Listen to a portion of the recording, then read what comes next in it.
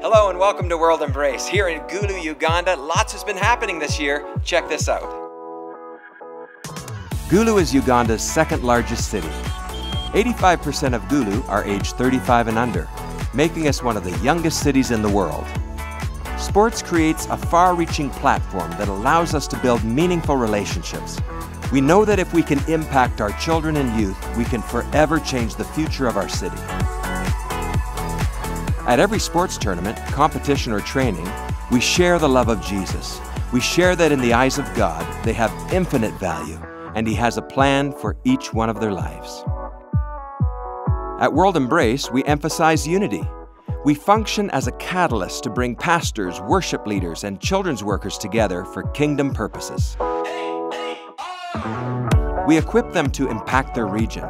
We all have the same goal, and when we work together, we can do so much more. At the Children's Jail, we hire teachers to educate and mentor the children.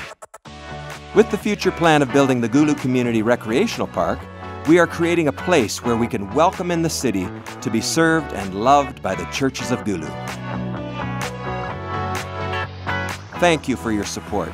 Together we can bring holistic transformation to this region, one soul at a time.